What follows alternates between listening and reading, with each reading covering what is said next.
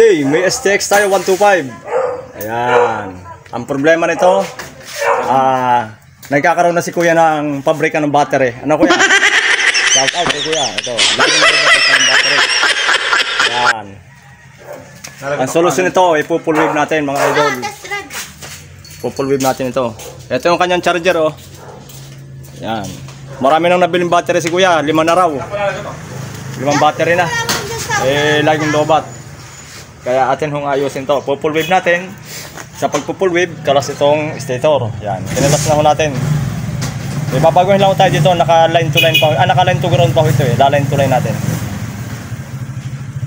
Taga dito po sa Nauhan ang may-ari ng tricycle na ito. Ng ating- STX 125. Naka-half wave lang po kasi ito. Naka-half wave lang ang kanyang charging system. Ito pong ating ginagamit na charger sa ating pagpo-full wave. Ito ho. Ayan. CSL. Sa mga nagpo-full wave po, ako lang yata ang gumagamit ng ganitong charger. Ito pong meron isang naka-extra. Ano ho? Kasi hindi ako gumagamit ng may kulay itim. Kasi pagka yung may kulay itim ang ginamit nating charger, automatic, ang headlight niya nasa battery. Oh, maniwala kayo, nasa battery. Ito hindi. Itong maging headlight natin. Ito. Kaya yung battery niya hindi mamamaximize ang gamit ano.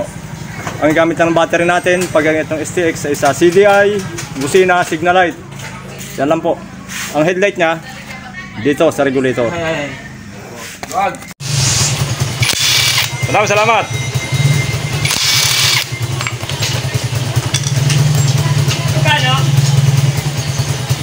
Pagkano pa na? Pili po kayo kung gusto niya. Okay na, pre. Ito ho. Nakahinang yan dito. Dito. Puputulin natin sa hinang, kakalasin natin, tapos sa talupan natin. Tapos isa itong ground, nakahinang din eh. Yan. Iniangat din natin. Yan pong ating pagsasamahin. Yan. Okay na ho yan. Okay na yan. Cut. Na mga idol, naikabit na natin yung ano, yung ating sensor ano. Ngayon po, antimano. Dapat ganyan mo pare. Kaya ganyan mo. Yan, ganyan video. Antimano, yung dilaw, putulin na ninyo sa socket. Yan o. Tapos kailangan natin i-test light siya kung iilaw. Kaya pare, tadyak eh. Ayan o. Sa sa puti at saka sa ano, sa... Ayan, umiilaw siya. Good. Yan. Okay na po siya. Tapos, diretso natin salpak yan dito. Sasalpak na, na po natin siya. Ito yung linya ng pulser. Salpak na din natin. Na sakit. Ang ating pulser. Yan. Tapos itong wire na ito, dito natin tatakbo sa regulator natin. Post. Ayan mga idol, Ah, recap tayo, recap. Eh, pingin 200 300. Ito na po yung ating regulator ng TC150 natin na may yung 4 plus 1 ano. Yun yung kulay dilaw na galing dito sa stator natin. Yan. Siyempre sa dilaw na rin ang ating regulator. Tapos po itong ito po yung socket ng original niya na charger. Yung kulay puti ho doon sa kulay pink lang natin itap. Tapos yun yung pula, siyempre sa pula na rin, battery ho yan. Tapos yung green ng regulator natin ay sa kulay black naman, yung original na socket. Tapos ang headlight niya ito, yung pula na may puti, yan ang linya ng headlight, itong dilaw na may pula. 70 po ang isa ka. Kaya ito po, kung, ano, hanggang dyan ang kanya, ang linya niya, ng headlight niya, pinutol lang natin yan. Ano? Yan ho, ang simpleng layout niyan, ng wiring niyan, ng ating full wave STX 125. Ah, sa 120. Kinakabit na lang po natin yung ano, yung ibang wiring niya. Yan na po setup niya. Kakabit na. Kakabit na lang po yung ibang linya ng kuryente natin ano. Itong ating ano, itong ating ano, makisig na mekaniko. Yan. Shout out! Pre, shout out sa mga babae mo. Shout out! yeah. Automatic sila. Yan na. Sana hindi nanonood ng YouTube video. Wag naman sana. Yan na. May take on eh. Customer na yung ano. Laging bilhin bilhin ng battery. Kada pagawa, bilhin battery. Eto, eh, nagtanong. Yo, nadali. Nadali ni Mr. Full Wave. Ayos to. Mamaya, ayos to mamaya. Si Eh, Mr. Right. set up na ho natin. Kakabit na lang. Mamaya, okay na yan. Sir, taga saan sir kayo? Nag-iba dos. Yan, taga nag-iba. Ito sir, yan. Taga rito po kami sa Mindoro. Yan, nakapanood tayo sa buong mundo. Sa aking YouTube channel. Kung bago pa lang sa aking channel, ay pakisubscribe naman po. Like and share. Nagkakon po tayo, nag-upload tayo ng mga ganito para makatulong din tayo sa mga kapwa natin mekaniko na pagka ganyan ang laging problema, lagi nalolobat ng battery, full wave na ho natin para tuldok na yung problema. Wala nang ibang problema pang ayos na para yan. Oh, yan na. Ito muna, wala pa. Yan agad eh. Kaya na parating na.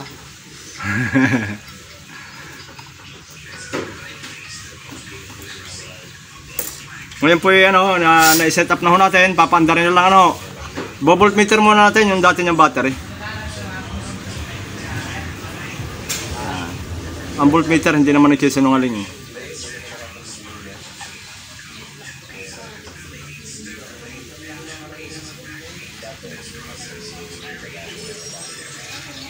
Wala yata karga pa parang battery niya. Yan yan. Sige nga, pandarin nga. Tadyakin, tadyakin. Ako mabidyo.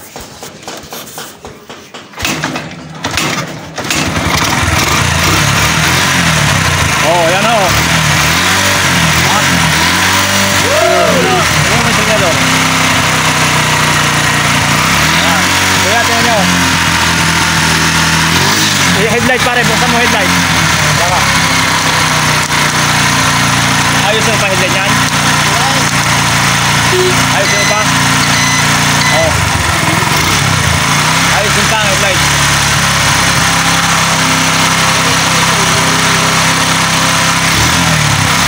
Yan, napakaganda na resulta. Oh, lakas.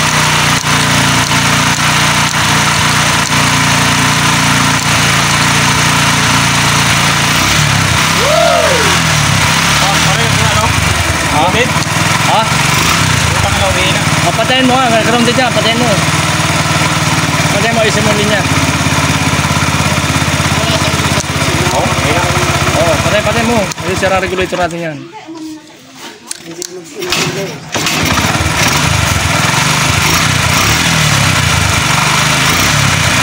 Oh, na, ayun na. Pare, pare. Tanggalin mo yung ano, tanggalin mo yung linya niyan. Ang lakas yan, oh. Oh, naka-minor yan ha, 13.8. May salang linya dyan. Ayusin natin yan sa, dyan sa linya dyang headlight. Paras ko. Sige pare, pasok. Ito headlight ng ating STX na pinol wave. Lakas yun yan. Gusin na pre. Patay. Oh, wala pang karagang battery yan. Oh, shout out. Shout out kay Kuya. Kuya. Kuya, ano masasabi niyo sa ating ginawa? Hindi pa isang battery. Ah, ayan. Sige, lagyan nyo lang ng battery yung ano, yung luma. Ito